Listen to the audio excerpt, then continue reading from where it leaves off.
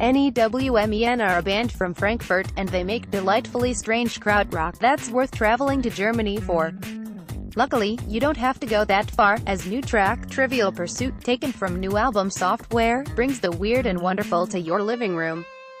A lengthy opening beckons you forwards, whilst a magician, clown, man with a cone on his head displays a succession of seemingly unlinked objects to the camera.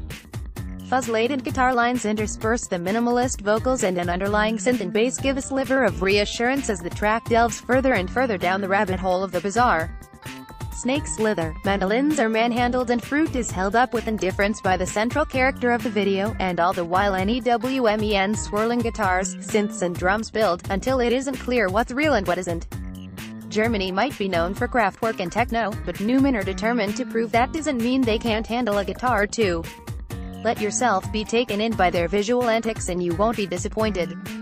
NEWMEN's new album Soft Ware is out.